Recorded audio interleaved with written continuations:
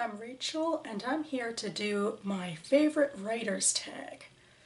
Uh, my favorite writer's tag was started by Steve Donahue. I think he got the inspiration from another video.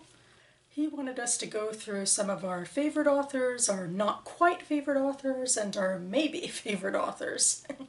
and I figured this might be a good time to do the tag because I'm too invested in NaNoWriMo right now to be too concerned about judgment over these choices. So here I go. I'll start with three of my maybe authors. And the first one I could think of is Amos Oz. Uh, Amos Oz was an Israeli uh, writer who recently died, uh, and I'm putting him in the maybe category because I'm far from having read his entire uh, collection of works in fiction and nonfiction, but certainly from what I have read, uh, I identify a lot with his politics, his empathy, his way of thinking. I may actually think that his nonfiction is stronger than his fiction. The second person I decided to put in this category is Anne Frank. and I don't know, all of my reasoning seems kind of weird, but for this one, I guess I was thinking, you know, I've read her diary, of course, and uh, I really loved it. And one of the things that really makes me think of is uh, how astute she was for her own, for her age, uh, how much of a good writer she was, you know, for being such a young girl and a teenager and how much I think she really would have matured into a renowned woman of letters or someone who should have been renowned based on her talent. And I don't know, maybe in the 50s as a woman she wouldn't have been, but uh, I just uh, come back to thinking that, you know, we have what's basically her juvenilia. And because she died in the Holocaust, uh, we never would get a chance to know what type of writer she could have matured into. And it's really such a shame. I mean, of course, no deaths by persecution are a good thing, but uh, I'm just thinking in her specific case, I know that uh, she gets a lot more attention than, than most victims of the Holocaust, but I do think there is truth to the matter that she was uh, particularly skilled. She was an artist. She really had gifts to give to the world, and she was able to give a few in that attic, and I think uh, I think she could have given so much more. My third and final maybe is Joan Leegant, uh, as different from the other two as they are from each other. Uh, she is a minor writer. She's written a collection of short stories and a novel that I really liked, all on Jewish themes. And uh, you know, she isn't all that well known. She isn't all that popular, and isn't uh, doesn't have a huge backlist behind her. But uh, I feel like I should uh, keep her in the back of my mind for if uh, she publishes anything else because I really have liked her stuff so far. For my not quite authors, I have six people, and I'll start with Suzanne Collins. I just wrote a long NaNoBlogMo piece on her, particularly on the Hunger Games and uh, its upcoming prequel. And I've read, I think, almost uh, everything that Collins has written. I haven't read her picture book for, for young children. Uh, I'm mostly familiar with the Hunger Games, and I have read once uh, through her uh, middle grade uh, series. Uh, I think Collins is often dismissed, as uh, many YA authors are, but to me, I think it's quite patently obvious that she is writing about war for children and for young adults, and has much deeper messages that she's talking about than it seems apparent on the surface. It's also true that The Hunger Games is uh, one of my favorite series of all time, and yes, I read them as an adult, and I'm definitely uh, incredibly invested in her new book. Next, I'll go for uh, J.K. Rowling, probably not as denigrated as far as uh, YA and middle grade authors go, just because of how huge her impact has been with the Harry Potter series. I love the Harry Potter series, uh, and it's been one of uh, the most integral parts of uh, my life, really. I mean, not even so much because of the books, but because it's uh, formed uh, friendships for me. I, it's um, some of my closest friendships and uh, most important experiences as a person have come from my affiliation and reading of the Harry Potter books. To a certain extent, I do think it's a generational thing because I was a child and a teenager when uh, the books started coming out. But I do think uh, Harry Potter has the potential to become classic books for uh, you know, for future generations. I'm certainly looking forward very much to introducing them to my niece and nephew. Beyond the Harry Potter series, I believe, uh, maybe even more for me personally, I really loved The Casual Vacancy, and uh, I read it a few years after uh, well, grad school, I believe. And uh, grad school was something that sort of uh, beat the love of reading out of me for a while, I have to admit. And uh, I was very slow on my feet for, for a little bit. But uh, in reading The Casual Vacancy, I think I, I, fell back in love with literary fiction. And I think uh, J.K. Rowling was an integral part of that as well. Admittedly, I haven't read her uh, mystery novels. That's not my genre, but uh, I kind of hope she returns to uh, more literary fiction in the vein of The Casual Vacancy. Next, I'm going with Tamora Pierce. She is a YA author from my own YA days, uh, and I, she's on this list particularly because I really have only read um, a couple of her series, and I'm not sure I'm incredibly invested in reading some of the other stuff that uh, she wrote when I was an adult. But uh, in terms of forming me as a preteen and teen reader, uh, the Immortalist series uh, was the big one for me. Uh, I really loved that fantasy series. I even incorporated it into a short story, uh, just name dropping as you do. And I also read her Song of the Lioness series, her first two series set in a fantasy, uh, epic fantasy world, and then uh, some of her Circle of Magic uh, books as well that came out uh, basically in the 90s when uh, I was a teen. And uh, yeah, I just, I really loved it, and I'm so excited because she's currently in the middle of writing a prequel series to the one of the characters from the Immortalists, and it's like going back in time, kinda, and fleshing out that world that was one of the preliminary uh, fantasy worlds that got me into the genre.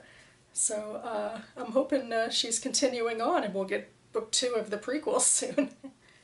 Next, I'm going with Tova Mirvis. She's another adult uh, novelist and memoirist who deals with uh, Jewish themes, and it almost feels weird not to have her on my favorites list because I actually made a video, one of my first booktube videos about her as uh, a favorite Jewish novelist.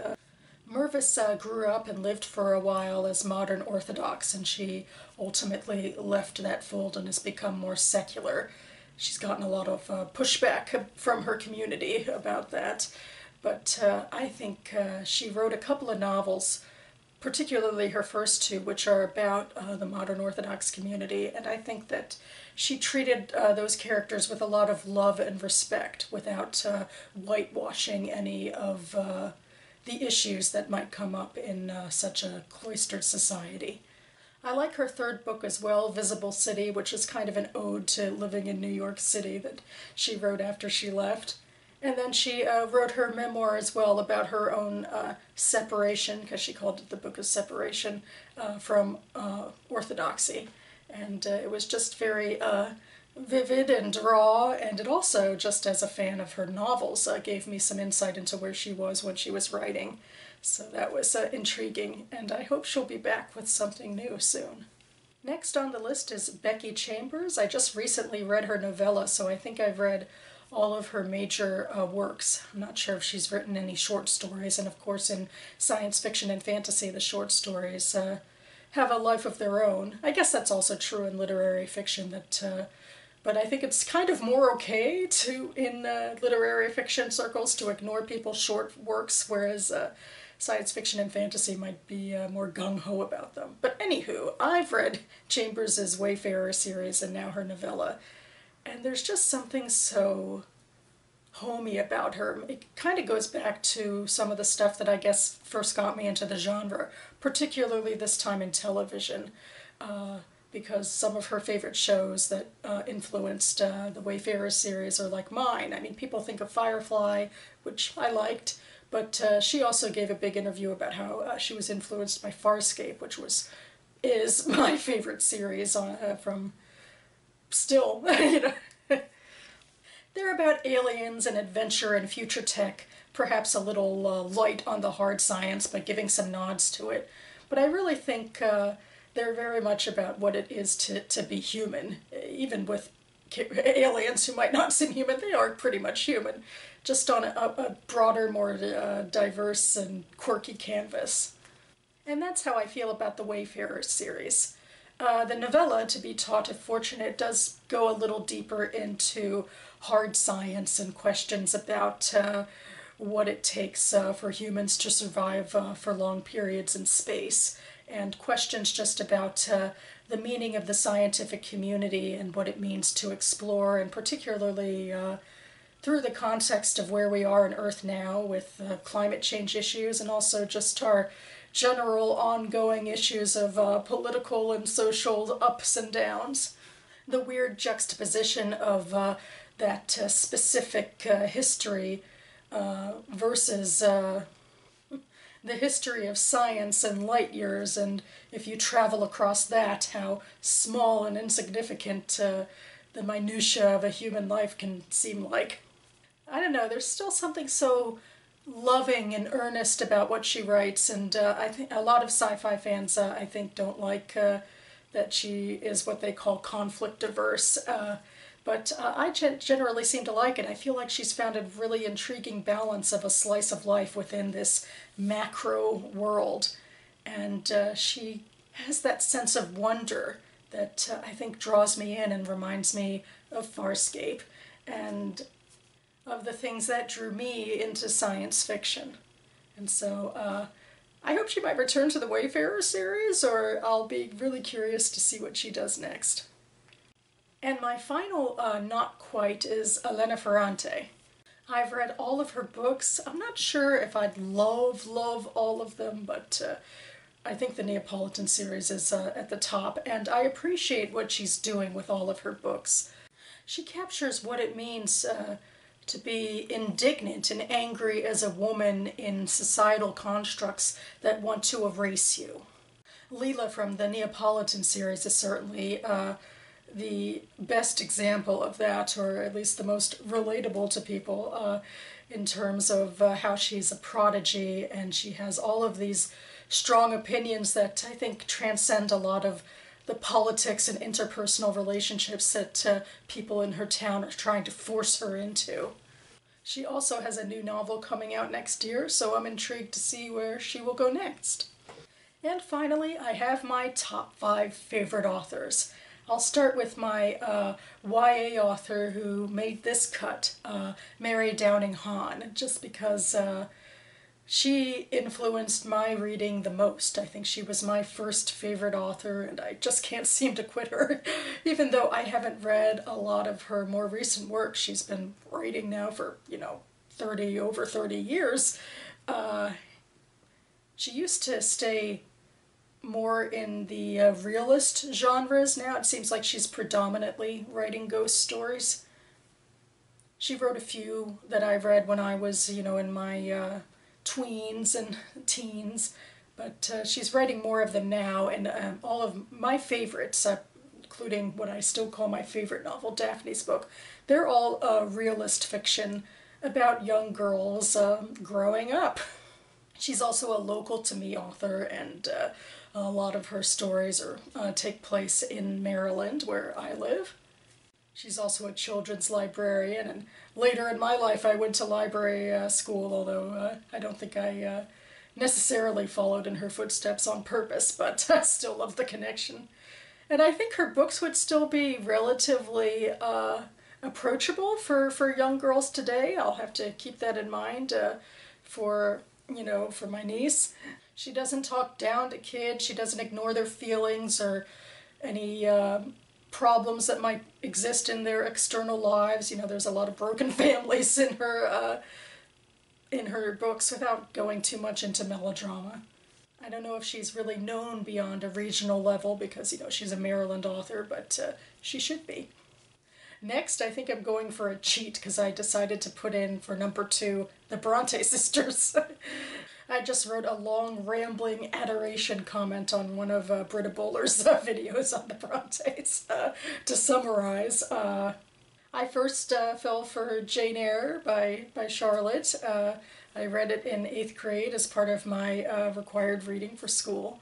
what struck me then as a teenager is how patently unfair Jane's life was, and, you know, Charlotte was making no bones about it.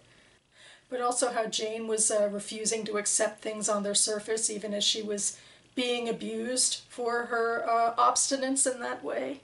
I admit I'm falling a bit out of love with Rochester myself, although I don't think he was ever the most important part of it for me. He was kind of a battery. He was mostly interesting because he'd listen to Jane. she was much more fascinating to me and continues to be so, uh, but I would have chosen another guy, Jane. Although as a person I feel like I identify the most with Charlotte and uh, these unsuitable, unrequited love uh, obsessions. so from there I read Wuthering Heights on my own, often secretly in Spanish class. so, and uh, Wuthering Heights, Emily Bronte, that one's my favorite. Uh, there's just uh, so much to love about it, so much passion, uh, things that leap off the page about uh, Bronte's characters and what she's exploring about uh, the price of revenge. I think uh, one thing Emily has that perhaps neither of her sisters have so much is that she is not uh, sentimental with her characters. I mean, Rochester is a fair bit like Heathcliff, maybe not quite as bad, but certainly in that vein. But uh, Emily does not treat Heathcliff as the romantic hero, despite what some people believe. I also have a real soft spot for Nelly Dean, although uh, so many people dismiss her as unimportant and that whole, you know, Victorian uh, necessity of uh, having to witness the story through these uh, unimportant narrators on the side. but uh, I feel like Nelly Dean was uh, our conduit. She was the one who was, you know, the human being who wasn't crazy. you know, she was our safe space to watch this drama through, and uh, I spent a lot of the novel wanting to save Nelly Dean. Somehow I didn't make it to Anne's works until I was an adult, uh, or I think I might have tried The Tenant of Wildfell Hall uh, when I was a teenager, and maybe maybe I was exhausted by Wuthering Heights by that point, uh, and I put it down, and I finally got back to it as an adult. Uh, I've read all of uh, the Bronte works. I mean, they're novels. Uh, but anyway, when it comes to Anne, um, I mean, The Tenant of Wildfell Hall is uh, leagues better than Agnes Grey, and uh, surely it's also uh, fascinating from Charlotte Bronte because of uh, what it says about Emily, and it's such an interesting eulogy to her sister, and maybe a character study like nothing we'd ever see before. And also, I need to read Villette again, but away from Charlotte, and also the professor sucked. Anyway, away from Charlotte. I think uh, the Tenant of Wildfell Hall is, is fascinating, and there's some things about it that are the same and different to her sisters. I feel like there's this passion uh, in Helen that's that's kind of similar to Jane, in that she was dealt a raw hand with this abusive alcoholic husband, and she's sick to death of it. I mean, there's something much more realist about uh, Anne Anne's work. You know, it's not this gothic, over the top, windswept moors stuff as much. Uh, in fact, I feel certain that I, I heard a booktuber say that she liked Anne better because of that more realist uh, focus, although now I can't seem to find that video. I get that nowadays it's not so shocking to say that, hey, living with an abusive alcoholic hu- husband really sucks, but uh, I still feel like uh, Anne dug into those emotions and I really appreciated it. Although Gilbert, like so many other guys, he sucks. so yeah, that's uh, the Brontes. Now I'm starting to ramble rambling enough that my uh, battery's gone down considerably. So anyway, my next uh, one that I want to mention on my favorites list is Allegra Goodman. I also made a video uh, for her about her being one of my favorite Jewish novelists. Uh, although I think my favorite of her novels that I've re read is Intuition, which uh, has some nominally Jewish characters, but uh, is predominantly about a sm small research lab of oncologists and I feel like uh, my favorite of her novels uh, is about small insular communities, also Kaaterskill Falls, which is about an Orthodox enclave. Uh, what I think she excels at the most is getting these intricate details about what people feel or believe. Uh, just, you know, this type of stuff that I don't think comes naturally to all writers, but comes naturally to her. Her most recent book was a bit of a dud and a bit of a disappointment for me and quite uh, moralizing, really. Uh, but um, I'm always going to stick with her. I'm curious to see where she goes next. Number four on the list is Jhumpa Lahiri. I think she might be the uh, most successful writer in terms of the lyricism of her prose. She is such a beautiful stylist, both in her uh, long form and her short form in literary fiction. Uh, and I feel like it's such a shame that she's not writing so much of her own stuff anymore, though uh, it's fascinating to see her fall in love with Italian culture and start to translate. Uh, I still need to read her memoir on the subject.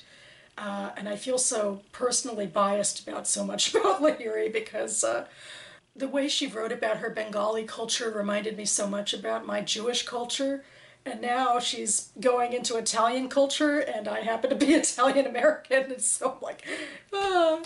and, and and on an even sillier level for me, uh, one of my friends who is Bengali, uh, her parents and uh, Lahiri's parents ran in the same circles, so I'm cool by association of association. and finally, number five on my favorite authors list is Meg Wolitzer. I recently did a whole uh, years long uh, project of uh, reading all of her backlist. I read three books a year and made booktube videos about them. Uh, her first couple of books were kind of duds, uh, uh but since then she has flourished.